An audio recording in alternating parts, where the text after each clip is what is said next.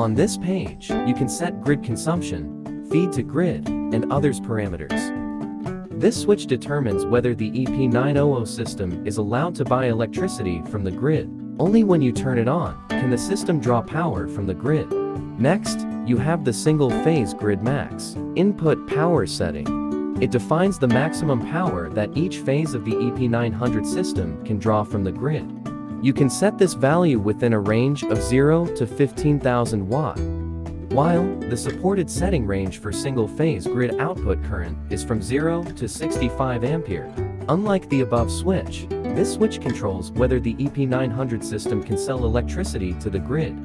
And the maximum output power and current for the single-phase grid are limited to 15,000 watt and 65 ampere, respectively.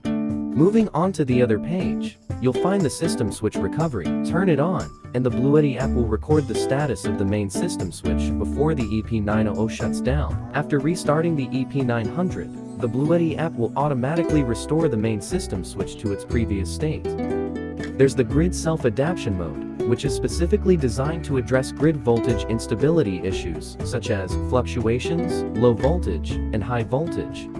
When this mode is activated, the charging power will gradually increase to reduce the impact on the grid while charging from it.